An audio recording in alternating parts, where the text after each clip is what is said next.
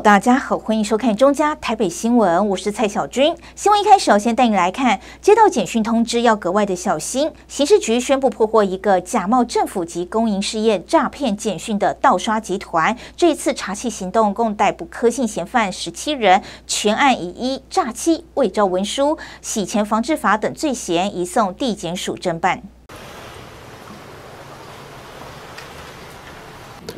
专案小组在屏东、桃园及台中等地进行搜索，由于有跨国电子票券公司发现大批信用卡异常下单购买礼券记录，金额高达三百多万元。之后陆续有银行及被害人向该公司反映有争议款项及信用卡遭盗刷的情况，因此向刑事局报案。专小组收证后展开山坡查缉行动，共逮捕柯姓祖贤等十七人，并查扣 SIM 变换器、犯案手机、SIM 卡、犯案用车辆、电脑及知名精品等赃证物，不法所得出估超过新台币六百万元。经专案小组深入追查，发现该集团先假冒政府机关或是公营事业，分别以 ETC、自来水费、停车费或是罚单未缴等理由，发送软网址简讯。骗取民众的信用卡资料，在与被害公司网站盗刷并变卖赃物。本案经报请台中地检署及高雄地检署指挥侦办，连续执行三波查缉行动，共计查获犯嫌十七人，查扣犯案用猫池、手机、SIM 卡、电脑、车辆及各类服饰精品等大量赃证物。在追查过程中，警方也发现，这个诈骗集团还会利用俗称“猫池”的 SM 卡变换器，用一只手机操控多个门号，同时扮演买家及卖家，在进行假交易，骗取电商优惠差额。这个商城是提推出了一个买满千送百的这个活动，那范闲是一人分饰两角，既是买家也是卖家。那他是透过假交易的方式来取得这个补助。当商城确定这些交易都完成之后，会将这个差价，就是一百块的补助，提供给这个卖场。那其实这个嫌犯既是买家也是卖家，所以他会取得这个差额的补助。那我们初估他大概，呃，犯罪期间获利有三十万左右。警方已经将全案依涉嫌诈欺、伪造文书、洗钱防治法等罪嫌移送地检署侦办。刑事局提醒：诈骗手法层出不穷，国人接获来路不明的简讯，一定要先进行查证，尤其需要输入个人资料时，更应该格外谨慎。如果有疑问，可以拨打一六五反诈骗咨询专线咨询，也可以就近寻求警察机关协助。记者张启腾台北报道。暌违多年没有在台湾公开露面的莫文蔚，带着幕后光年特展现身。这是继巡回香港、北京后第三站来到台北开展。由莫文蔚父亲亲自撰写的文成五位介绍，极贴切的形容了莫文蔚的名字、个性和演艺生涯。还有莫文蔚的演唱会、唱片封面、杂志等多幅珍贵影像组成的大型拼图墙，这是他出道三十周年的巡回特展。他也特别到场分享策展理念。今天就用一个新的方式来跟大家见面。所以最近都在忙，就是这个展。就是今年都是在对啊筹备这个展览啊。我们首先是在香港举办了，然后到北京，然后现在到台北这里。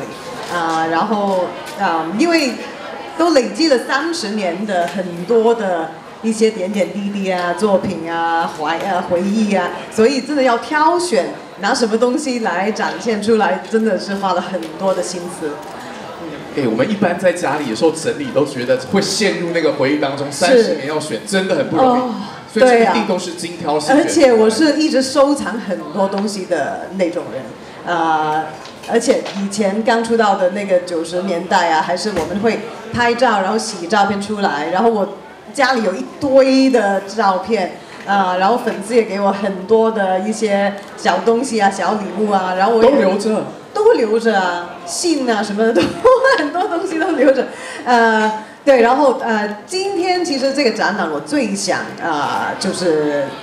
跟大家分享的就是我多年前拍的一本写真集，嗯，就是《文成五味》，啊，因为那个年代也是出了可能几百本的书实体书，然后卖完，呃，而且是给慈善筹筹款的，然后卖完就没了，绝版。也那个时候也不是不是现在就是这么容易可以在网络上跟大家分享，所以那些照片呢，超绝的，可是就很少人有看过或者能就是呃。慢慢的这样去了解照片背后的一些意思，所以这次想透过这个展览来跟大家重新的分享我当年拍的那些照片、图啊，一些简报，全部我是我自己挑的，自己选的。对，因为我就是从入行到现在啊，我妈妈会帮我做简报，嗯，所以就收集了好哇几十箱的简报，历年来的一些就是各式各样的东西，所以我这。这些选的基本上都是啊，跟台湾特别有关系的一些呃回忆，比如说我啊，就是拍 MV 啊，出第一张唱片啊，第一次在呃呃那个呃足球场开演唱会啊，拍广告啊，那个摩托车啊什么的，全部都是在台湾发生的一些啊点点滴滴。由国际摄影大师夏永康为莫文蔚拍摄的文成五位绝版写真集，其中四幅经典照片更以 AR 技术再度展示在观众眼前。每一张照片都有莫文蔚的故事，还有由他构思以传达保护地球、守护濒危动物信念的原创虚拟漫画人物墨猫宝贝，也出现在展区。啊，这个。我就是画成一一只花豹的那个照片呢，就是因为我的名字文蔚其实是来自《易经》的一句话，就是啊君子豹变，其文蔚也。然后是我爸爸就是给我取的名字啊，然后是他解释给我听，就是人呢就是随着时间啊，你就可以就会像豹子一样，他们身上的花纹会变得越来越漂亮，这样子。所以啊，我就觉得哇，原来我的名字这么酷的。那我当时就觉得啊，我一定要用照片的方式来解读我的这个名字后面的意思。所以就把自己画成就是那个豹的花纹画在身上啊，然后就拍了这样子的一个照片。然后旁边那一张哇，我记得那个全身莫文蔚，对，是经典，现在看起来还是经典。对，就是。对，怎么看都很好看了。自己说是不是？是是是，而且也不会再有这样的照片了。真的？为什么？我我做过的东西，我就不想再重复。而且在那个时候，就是哇，就留下来一个这么漂亮的照片，我觉得就把它就一直留在那儿。所以那时候拍之前有没有思考再三，还是就是说，嗯，这是一个好 idea，我们就做了这样？我其实啊，我很多的决定都是很很。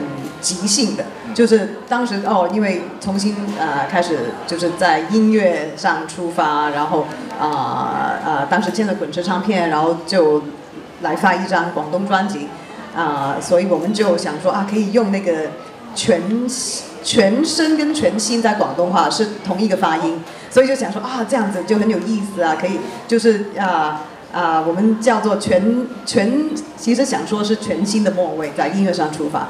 然后我就想到啊，那我们用身体来来带出这个概念，所以我就想说，哦，那我就全裸来这样躺在沙发上拍啊，就是拍一张照片。然后唱片公司听到，哇，怎么会突有人会有这样的想法？他们觉得很好。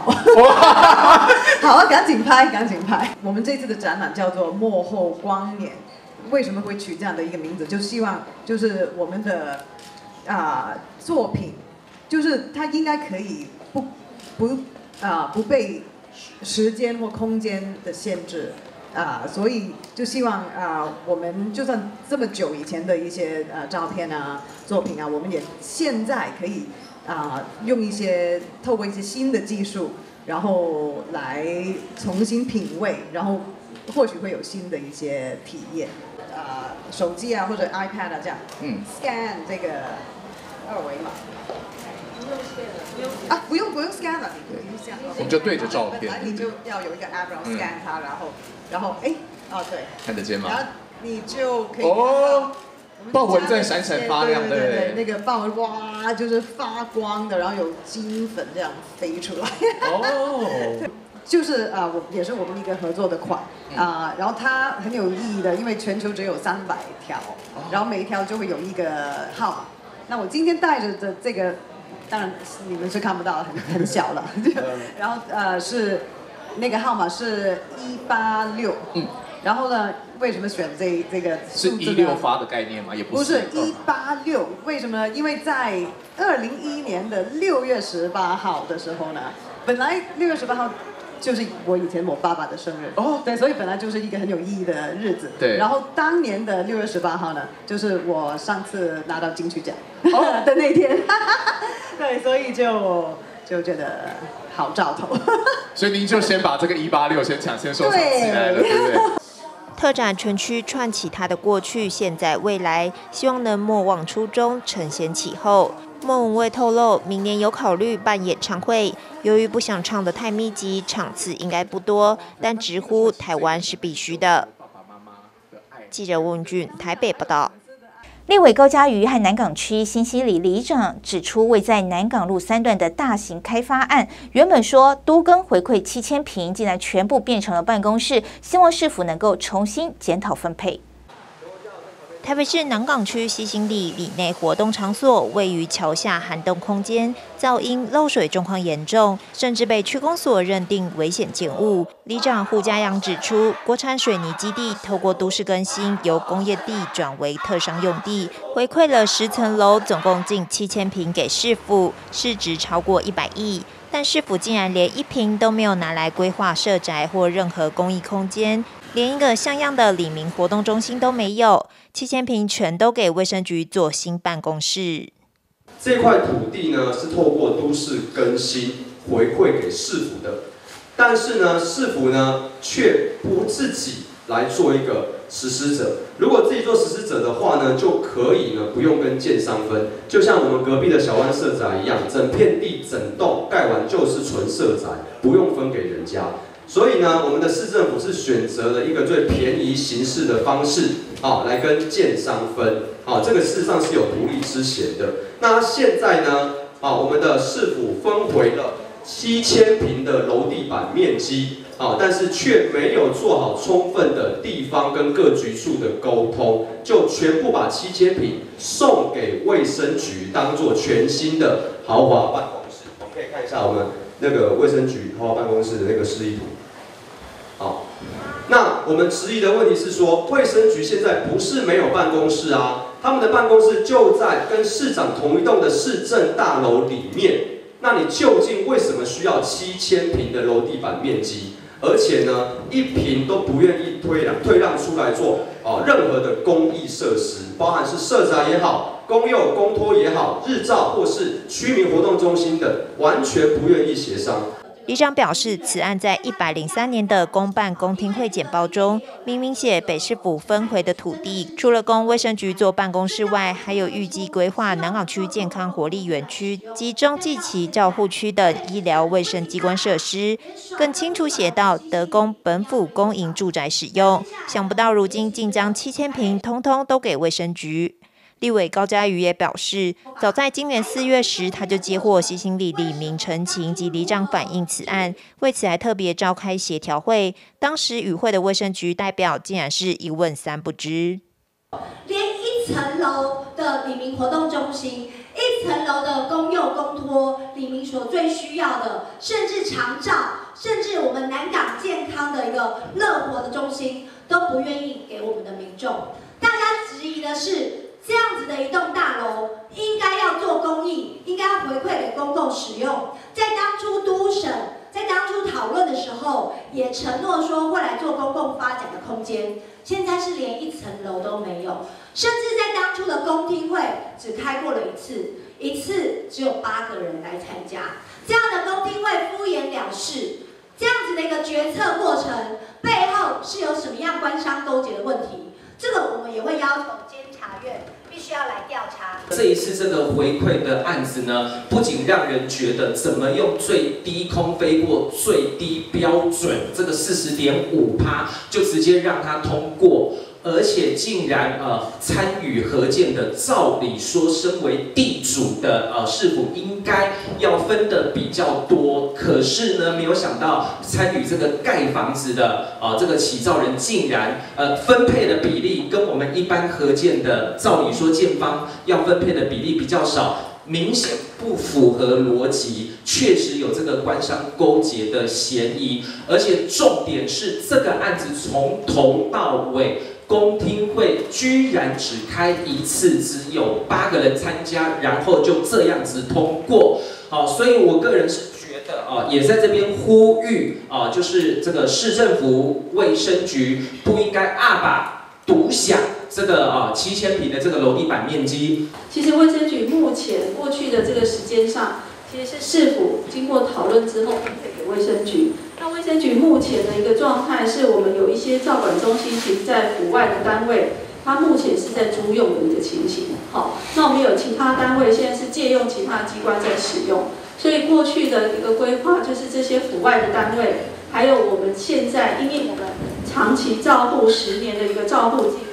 那还有一个强化我们心理卫生的一个社会安全网的一个照护计划，所以未来在一百一十八年的部分已经评估可以预期，已经会新增增加的一些员工数，已经会达到一个某一个程度，所以在这个呃多重的考量之下。所以我们已经评估，在这个需求上，我们有这样的需求哈，因为还有一些其他府外单位都需要这样的空间。哦，那我们也盘点了一下这个呃所在的基地是南港高中的国中部。那虽然目前呢是已经有这个三个呃给长辈的这个日照中心，那我们也考量说，因为未来这个附近都更的案子很多。会有这个，不管是住户还是商办大楼，那只要是这个，就是这个上班或是住家多的地方呢，会有这个送长辈到日托，或者是这个托婴，因为目前是在这个小湾社宅，还有玉成国小，我们有小的公托。那未来呢，因应这个会有更多的人进到这个区域，所以我们也评估说，如果这个都跟回馈，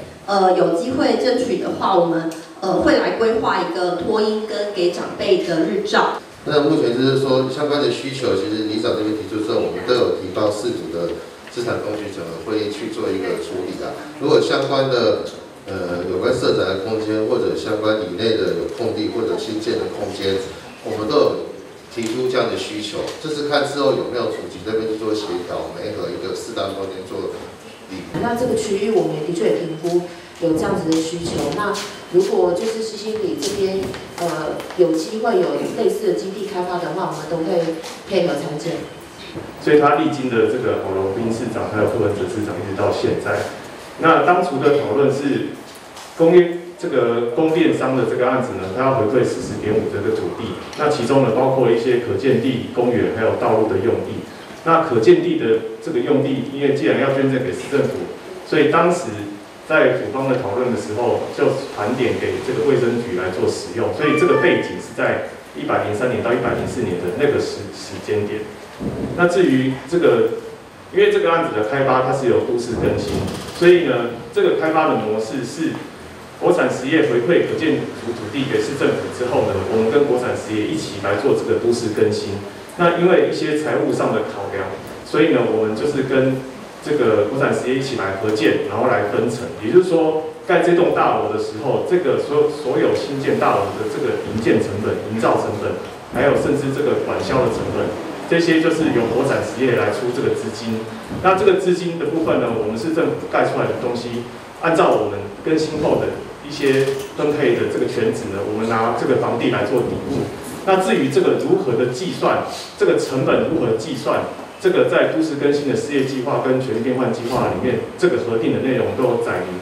那这个成本的提列都是有按照标准的提列成本来提列。那怎么样去做底部呢？这个也有也有估价师来估我们盖出来新建成本的这个这个呃市价，然后来做这个底部。这个是在呃事业跟全全力变换计划里面有载明。所以这个部分就是说，我们市府呢没有负负担这个相关的新建成本跟管销成本，那用这个楼层去抵付给国产实业。里长说，今年六月，里长有约会议就有向蒋万市长澄清，市长当时表示会来了解，但如今给的回应却一样。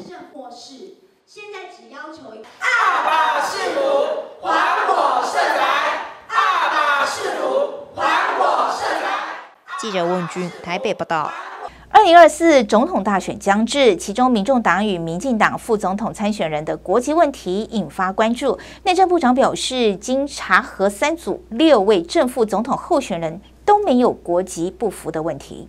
针对中选会公布总统及副总统候选人资格审议结果，内政部长林佑昌受访时补充表示，经内政部查核，三组六位候选人，包括遭质疑的民众党副总统候选人吴欣盈及民进党副总统候选人萧美琴，都没有丧失或回复国籍记录，也已将结果函付中选会。三组候选人都符合内政部执掌的相关规定，具有中华民国国籍。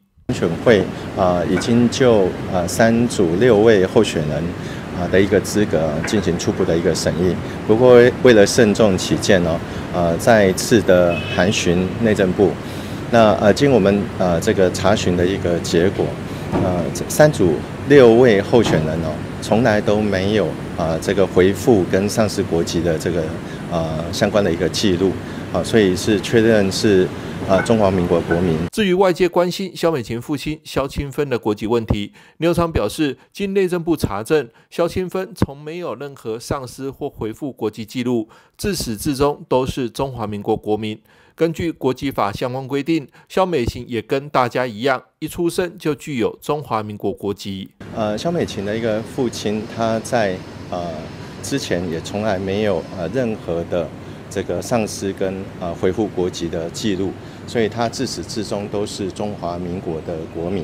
那所以肖美琴跟你跟我都是一样，也就是说他在出生的时候就是中华民国籍。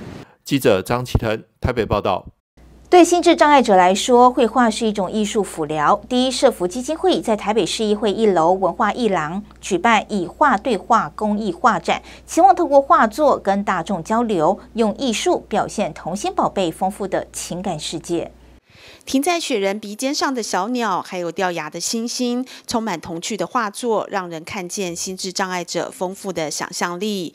第一社福基金会大力推动艺术辅疗活动，帮助心智障碍者抒发压力，满足多元感官刺激需求与表达感觉情绪，也期望透过画作与大众交流。小鸟在吃雪人，因为雪人它的鼻子很长啊。哦啊，鼻子很长，然后它鼻子是用什么做的？用红萝卜。红萝卜，所以小鸟去吃红萝卜。对呀。哦，啊，怎么会想要画这个？因为老师教的。啊，你觉得画画，你觉得感觉怎么样？很好玩。那为什么星星要掉牙？蛀牙了。所以它的牙是蛀掉的。对，那你有没有？那他他蛀掉牙的时候，他他的表情是你自己想的？对。那颜色怎么？你你怎么会想要涂这些颜色？老师教的。那你觉得画画好不好玩？好玩。哪里好玩？可以让我开心。第一社福执行长张金伦表示，很多心智障碍者有沟通上的困难，虽然辅具可以帮助他们，但无法用言语表达的内心世界，就可以透过美术活动进行抒发。呃，我们基金会其实有外聘美术老师，那美术老师会依据各中心，我们总共有八个成人中心都有参与这一次的画展。那我们从各中心挑出一些呃很。优秀的作品哈，来参加这一次的展览。那希望未来还有机会，也可以再办这样子一个大型的画展，让大家的画作都有机会呈现出来。我们目前有六十六幅的画，今天就是展展示在市议会。因为心智障碍者哈，就是因为他们的脑机体受损，所以造成他们可能在认知、沟通或者是动作协调能力上面都没有非常的好。那美术辅疗这样的一个介入呢，其实除了认知，然后也让他们有机会有一些动作、精细动作的训练，然后同时又可以达到抒发情绪、沟通，还有感官的一些呃辅助的疗愈的效果。所以其实这是一个很。多元的呃辅疗方式，所以我们非常鼓励所有的心智障碍者都可以参与这样的一个美术课程。同时，他们在作画的过程当中，他们有发现自己很棒的地方，可以完成一幅作品。所以，其实这对他们来讲，除了让他们有情绪稳定，然后呃抒发情绪，然后表达沟通，都有很大的效益。台北市副市长林奕华也出席支持童心宝贝的画展，并感谢第一社服在照顾心智障碍者上的专业服务。那到现在为止呢，它不只是在从原的早疗，呃，到我们现在的，包括我们的这个呃居住的部分啊，也就比较就养这个部分。那另外呢，他在就业部分更是花很大的心力，包括说在一些工作技能的训练啊。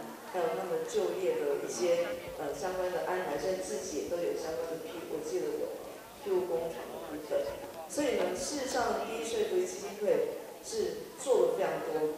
以画对话公益画展在台北市议会一楼文化艺廊展出至十二月十三日，欢迎民众前来参观，感受童心宝贝们丰富的情感世界。记者林希慧台北报道。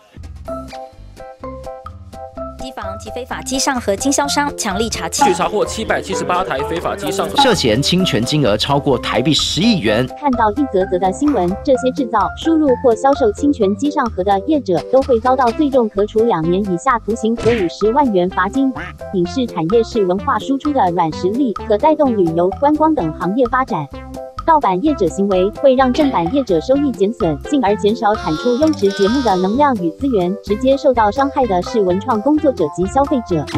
所以，请大家检查一下自己使用的机上盒是否合法。就算是合法的机上盒，内件是否下载了侵权 App？虽然台湾没有对使用侵权机上盒的民众有任何的罚则，但为了打造一个优质且强盛丰富的影音帝国，请民众一起导正市场合法秩序，支持影视产业。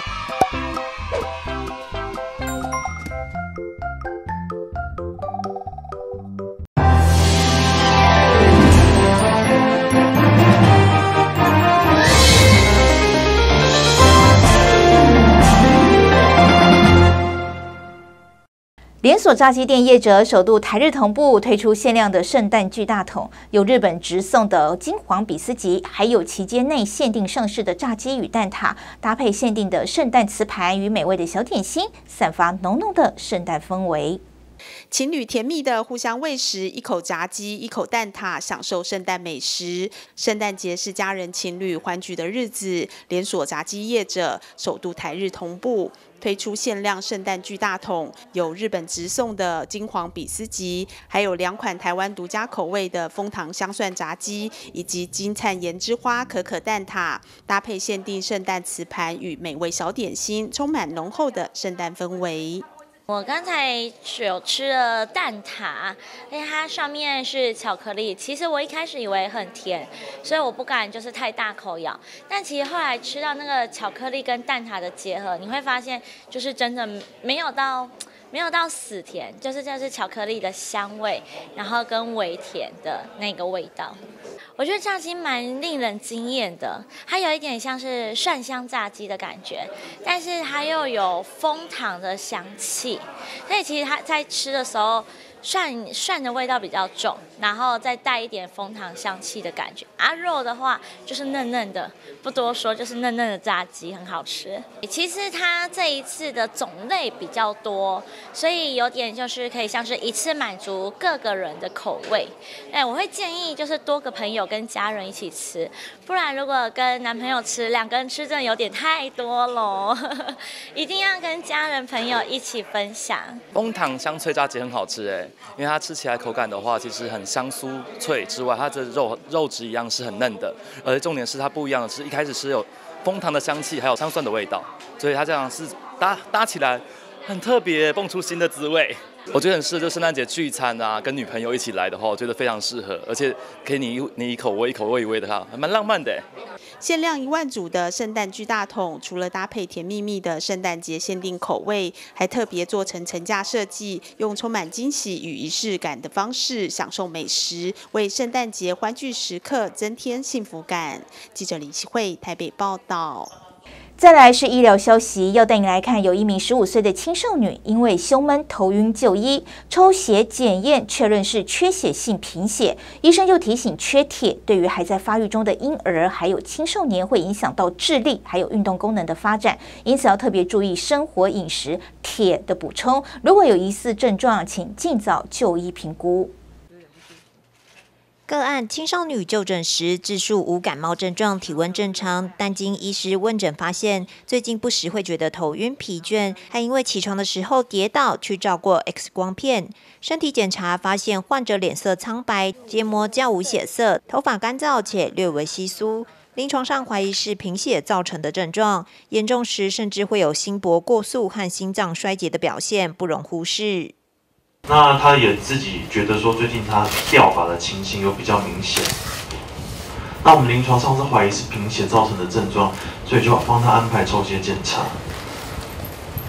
那抽血的结果就是发现说，他的血色素就是确实是比较低下，而且他的红血球的体积比较小，所以他就是小血球的贫血。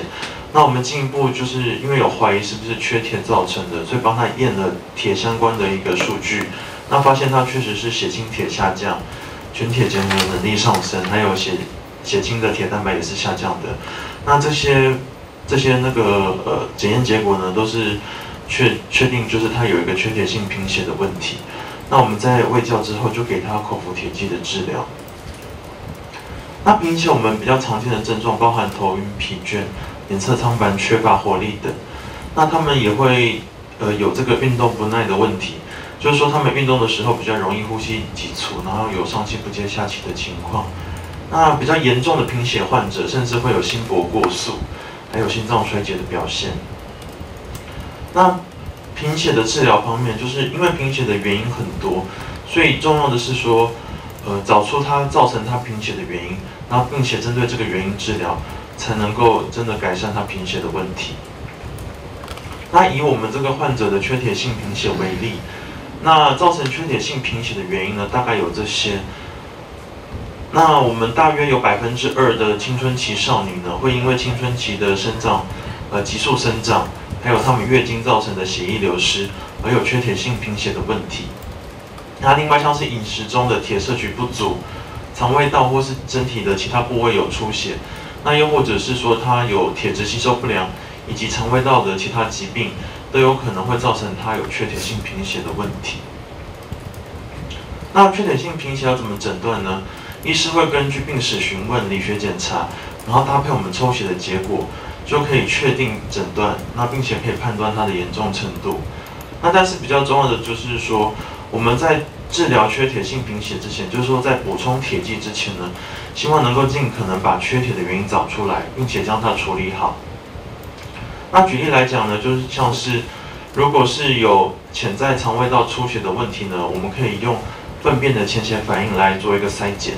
那如果说确定粪便潜血反应为阳性，那可能就要查一查它有没有像是，比如说胃溃疡啊，或是痔疮等等有肠胃道出血的一些可能。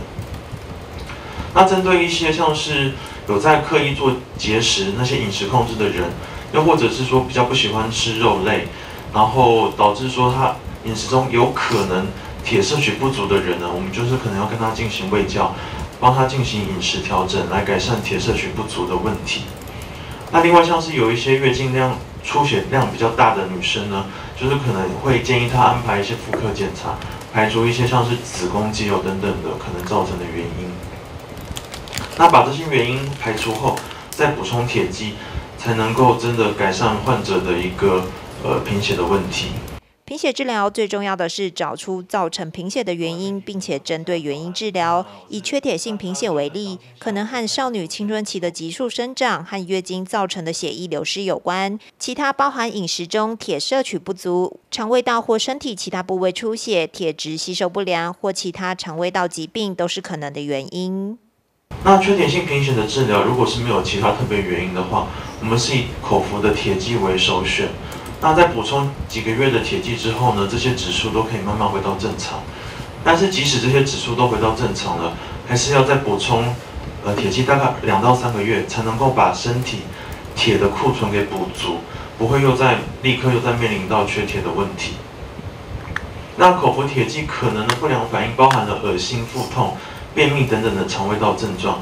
所以如果有发生这些情况呢，就是患者就是呃就不要自行中断，要跟医师讨论一下，看有没有改药或是其他的方法，免得说他的缺铁性贫血有持续恶化，造成更严重的影响。那最后提醒大家，就是缺铁。呃，缺乏铁元素这个呃这个问题呢，如果对于发育中的婴儿跟青少年呢，其实是会影响智力和运动功能的发展的。那我们针对一些铁平时日常生活中铁摄取不足的人呢，会建议他们多摄取肉类、内脏类的食物，以及深绿色的蔬菜，以补充生活中的铁。那最后呢，就是如果你在生活上发现说你的小朋友或者朋友亲亲人的小孩，有那种疑似贫血的症状的话，那我们就是建议尽早评估就医，然后以免延误他们的治疗。缺铁对于还在发育中的婴儿和青少年也会影响智力和运动功能的发展。医师建议多摄取肉类、内脏类食物以及深绿色蔬菜，来增加日常生活铁的补充。如有出现疑似贫血症状的患者，尽早就医，以免延误治疗。记者温俊台北报道。台北造起来热闹登场喽！台北市政府协助店家转型并提升竞争力，今年总共有十四家传统零售及美食店家参与建构专属的品牌，成为在地的景点。从品牌到装潢、产品包装设计，都是生活美学。开业近五十年的米谷粮行，透过更名、定位与强化特色、擦亮形象，再造空间。台北市政府辅导在地潜力店家，透过创新形态营运模式，联合传统历史与当代创意，激发店家独有魅力。迪化街成功，必须要一半的那个功劳给商业处了啊，这是事实。我们是不是给他鼓励一下，好不好？为什么？因为。我记得迪化街在，我想逝者就非常清楚哈，在十多年前的时候，那个南北货一直往下降，对不对？那店租一直往下降。那后来呢，因为造起来之后呢，再加上一些活动举办，尤其那个年货大街或者说其他的那个造起来，文创进入之后呢，整个迪化街房租就涨了。那我想，呃，那个这个没有关系的哦，因为我想，顾问我们最重要的目标就是希望它造成繁荣嘛。那繁荣哪有哪有可能房租不涨的？不可能，这个就是商业处带来非常大的一个成功。那所以我们非常非常的支持我们台北市的造起来。那刚才听听了主持人讲了，一百七十一家，非常的不简单。感谢您，感谢各位各文哈，高温大沙岗。我们台北市商业产业联合会，诶，分布在台北市十二个行政区里面，我们现在有五十三个理事长在里面。我们希望是打造一个优质的平台，跟公部门做一个这样对接，哦，那我们也积极的参与店家造起来。我想这个听你都知道，我们非常支持。那最重要是我们希望引进各位的 idea 进入我们的商圈，进入我们的店家，让我们的商圈店家能够比现在更好。疫情之后，我想慢慢在改变当中。呃，消费配比也在改变当中。只要是你是民生必需品，现在是非常厉害的一个东东西。那非民生必需品还是有机会啊。那只要稍做改变的话，都会影响繁荣的未来。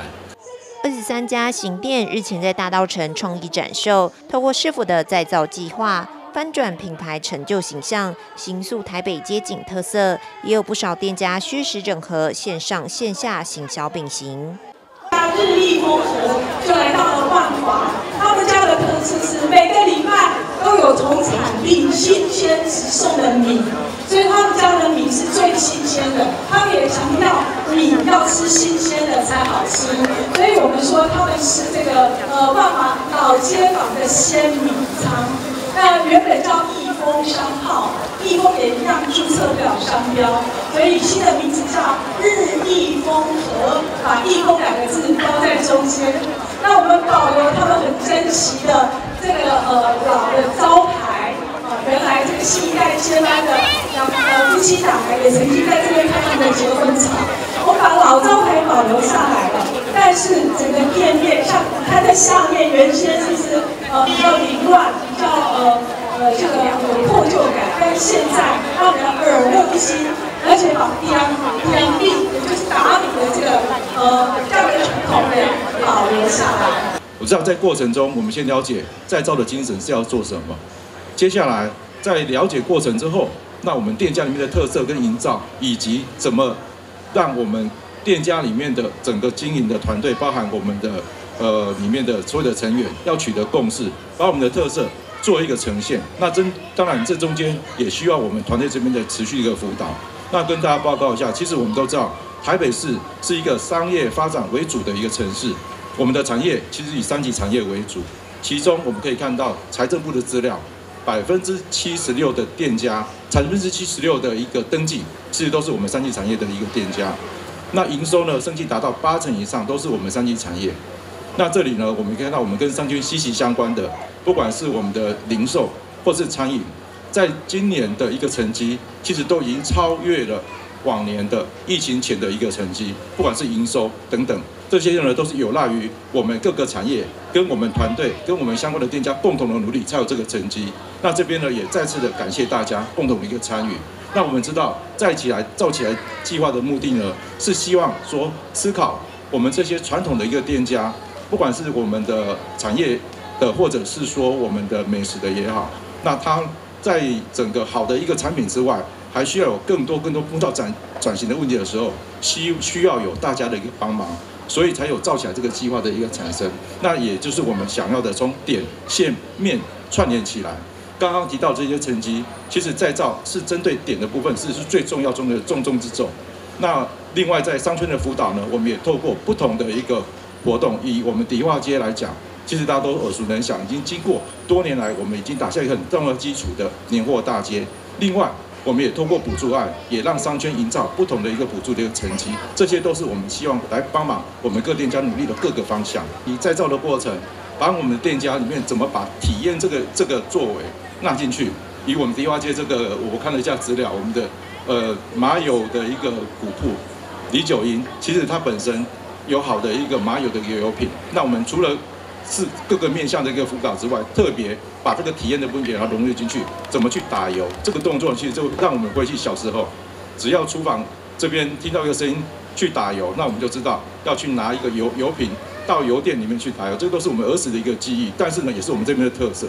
那未来呢，也这些都是体验型之后呢，那另外也呃增加更多更多的一个不同的一个行销类别，这就需要大家共同的努力。那未来呢？我们造起来这个计划，因为持续的推动，有赖于大家的一个共同的推动。台北造起来计划至今辅导一百七十一个店家，以大道城传统老店为起点，逐步扩散至万华区，带动街区发展，改造从城市记忆、人文美感的创意装点和互动设计，彼此串联成有趣的游程，扩散观光效应。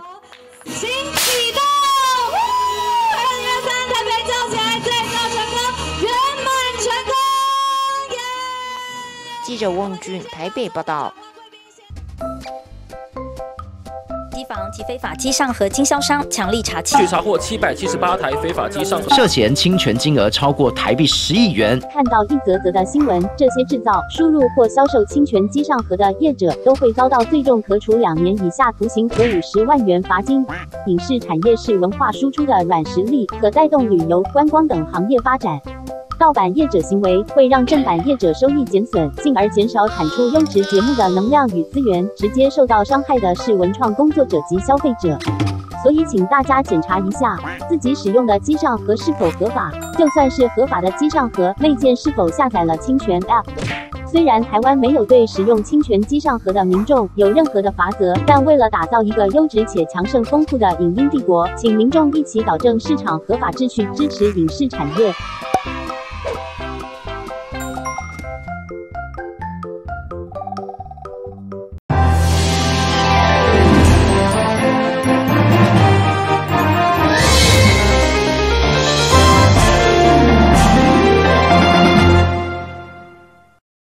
零二三最爱基隆年终演唱会十二月二十三号将在基隆市立体育馆登场。记者会上，市长谢国良与性感女神安心亚共同为活动进行宣传。市长也宣布邀请安心亚担任基隆的城市代言人。三、二、一，预祝我们的最爱基隆年终演唱会顺利圆满成功！艺人安心雅跟基隆市长谢国良、文化局长江庭梅、官销处代理处长郭宪平、市府发言人于志明一起为基隆年终演唱会进行宣传。市长谢国良也正式宣布，将邀请全方位发展的艺人安心雅担任基隆的城市代言人。那我们啊选定的二零二四年，我们的城市代言人啊是安心雅。啊，小姐，这样子啊，谢谢。啊，那呃，其实这是一个，这是一个专业的一个啊评选跟一个专业的一个判断跟选定哦，因为我们有注意到啊，安心亚这几年来，她可以说是啊非常的啊努力，非常的打拼，而且她也转型做全方位的艺人。大家都知道，我们基隆过去来东西很好吃啊，山海非常的漂亮啊，但是我们我自己认为了哈，我们的观光的内容的活动啊，还有待提升，所以最近增加了非常多的内容。那我们未来的教育的发展、就业的发展等等啊，一定要也是要变成一个全方位的一个啊的城市。所以我想在这边非常的。啊，荣幸也能够请到他，未来替跟我们的城市代言，提升我们城市的形象，尤其是促进我们城市的观光发展旅游。就是工作有压力的时候，我都会自己开车，或者是跟朋友一起开车到八斗子，然后在那边吹吹那个海港的风，看看一些船。然后拜拜，是对拜拜完之后再绕到基隆庙口去吃小吃，然后我就觉得哎那一天的工作的那个压力啊辛苦都就是释放掉了。哇，对，就是基隆是温暖我的一个地方。哇，真的很棒。还有什么地方是新雅最爱的部分？就是美食啊，就是这个对不对？对，一到基隆就不能不去吃。可是我自己吃的是阿华炒面。这个在地，这个在地人跟外地人都很爱吃，太爱了。然后还有庙口中间的卤肉饭加蛋，还有它的油豆腐，然后还有冬天我最喜欢吃那个排呃竹笋排骨汤。哇，你好专业哦，很好喝，很好喝，对不对？超好喝，真的，你可以这个自产在基隆了，好不好？不是，它是可以值得你开车从台北开到基隆，就是四十分钟值得的食物，是非常值得。由于这次演唱会很夯，为了让更多民众能一起参与，基隆年终演唱会将在国门广场加开第二现场，在漫游者基地的弧形 LED 电视墙进行全程转播。市长也透露，当天晚上将邀请基隆城市代言人安心亚到国门广场与民众互动。这个我也特别拜托他哈，在那一天的表演结束后啊，他能够到我们的。第二现场就是我们的国门广场，来跟这个歌迷朋友啊来做啊一些互动，所以在这边也特别谢谢他愿意拨空，在演唱会后还跑了这么一趟到国门广场来。而针对演唱会的五百张公益票如何购买，还有升账票如何索取，是否在滚动修正后也进行说明？那首先呢是考量到有心人士有可能会透过这个假传汇款的资讯来行诈骗的这个情势，我们呢决定哦要把公益票的这个索取方式改为在十二月十一日，也就是在下礼拜一的时候，在市府办公期间，我们会在市府一楼的这个柜台服务台这边。开一个专门的一个窗口，那会由呢这个我们市府同仁，还有伊甸基金会的同仁来配合大家来进行锁票的一个动作。那一样一张票呢，请大家就是捐款一千二百元的这个公益票，那一样是五百张票发完为止。好，这是公益票的部分。那除此之外，还有很多市民朋友相当的关心我们升账的这个票。升账票的部分哈，那也跟大家说明一下，我们也是同步在明天早上哈七号上午十一点钟的时候，我们会在魅力基友的脸书来同步开放我们的云端表单。那请呢这个呃我们的有需要的升账朋友可以在上面去做一个填写。那经过社会处的一个查证确实之后呢，我们呢会寄一个报名成功的信函提供给您。那呢，您您在当天的时候就到我们的服务柜台窗口，我们会由专人呢来配合您，把您呢呃就是服务到我们的这个独立升降座位区的部分。那这张票呢，它是一组是两张，就是我们的升降朋友以及陪同人，总共是两张，那总共只有十组的部分。基隆年终演唱会十二月二十三号星期六晚上六点半，将在基隆市立体育馆盛大登场。七组超强卡斯阵容也持续引起民众的讨论和关注。记者黄日升、陈淑平基隆报道。在联合国任职多年的七十四岁英籍男子杨麦克，每年都会来台观光，对台湾风土民情情有独钟。他退休后决定移居基隆，近期还取得中华民国居留证。热爱环保的他，希望在台湾推动减速，鼓励大家用行动爱护环境。拿起手机拍下基隆港最美一刻。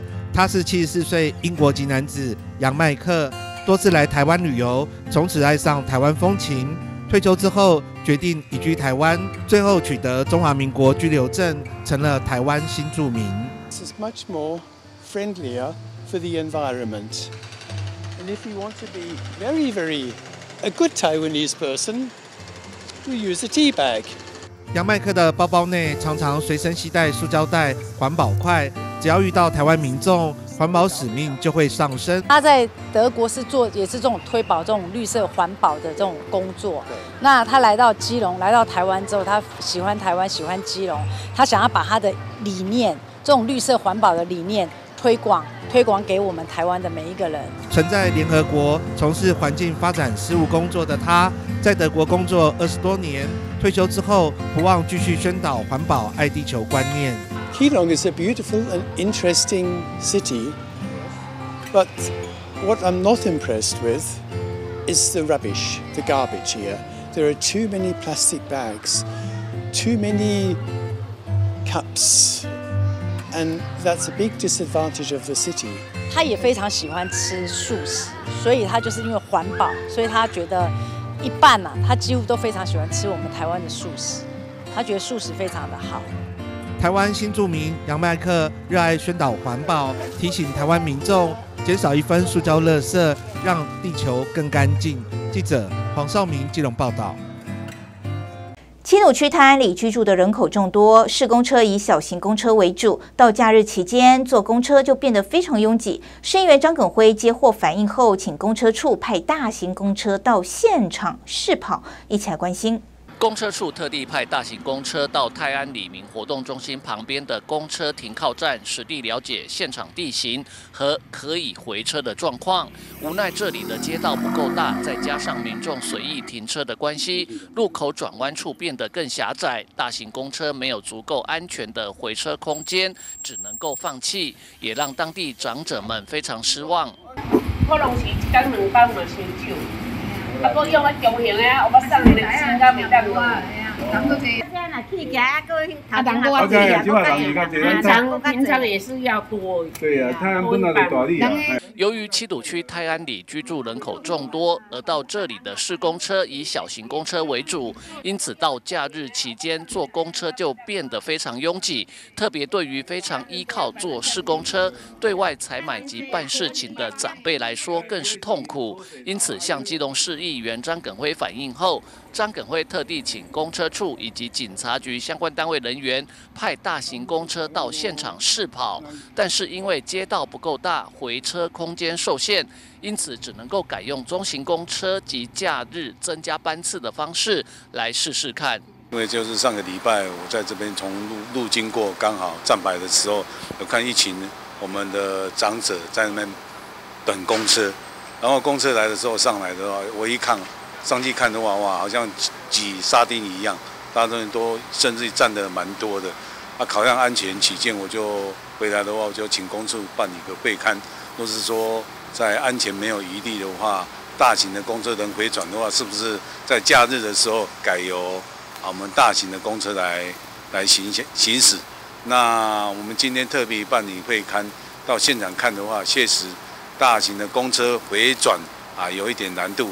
那基于安全考量的话，我再建议我们公车处是不是在我们列假日的时候能够增加几个中型啊班次的车，来输运这一些需要啊长者到我们市场还是就医的等方便他们拿来使用。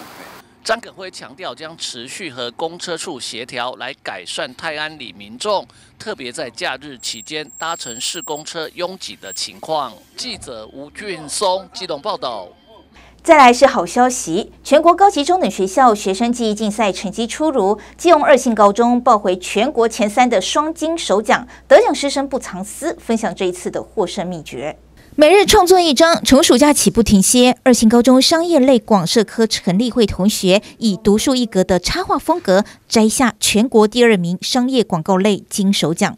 的画风比较特别，比较写实一点，也用使用广言。大部分选手比较没有在使用广言。广告饮料可以让你的画面看起来更。亮更干净。我们想要去找到自己的一个呃风格跟创意，跟别的学校不一样。这也是我们这一次为什么可以比较突出的原因。因为我们可能这样看下去，会有很多的同学的作品几乎都是以插画风格，然后我们刚好是跟大家的风格是完全相反的，所以在这一次的比赛里面就很容易突出。另外，报回文书处理类全国第三金手奖的资处科叶景慈同学，配合科内的规划，以赛教学，累积实力变成应战经验值，设定一套属于自己的电脑功能快速键，在短时间内完成所有的作答。就是因为平常做事情就是满满的，然后这个职种又只能在一个小时内要做完六道题目。你如果平常有些步骤，你可能要按好几下才会出来。你如果设定快速键，你可能只要一个动作就会找到你要的东西，所以累积下来就应就会可以增加很多。然后思考后面东西的时间，这是我们四年内第二度挤进前三名。技职教育很重要，就是在培养学生的专业技能还有实作能力。所以固然在训练的过程中很辛苦，但是明年度我们还是会勇于突破自我。全国高中中等学校记忆竞赛被视为高中职学生记忆界的最高殿堂。获奖的选手可以获得企业界预聘等就业机会外，也能够得到四级二专、绩优保送入学及绩优甄选入学的加分资格。透过这样的比赛，让技高的学生有展能的机会，也让各界能够看到技高的孩子，呃，他们自己的潜质，还有就是他们在学习方面所获得的一个成果。我相信这些孩子的技能。呃，未来再透过他自己不断的精进，可以呃对接到未来他的职场，在职场上面更发光发热。鼓励孩子发挥自己的兴趣专长，并加以训练，累积解决问题的经验，为未来的梦想铺好最扎实的路。记者蔡小军，基隆报道。以上就今天的中嘉新闻，也欢迎您到中嘉新闻的脸书及 YouTube 按赞，就能及时获得最新的在地新闻。非常感谢您的收看，我是蔡小军，祝您一切平安，我们再会。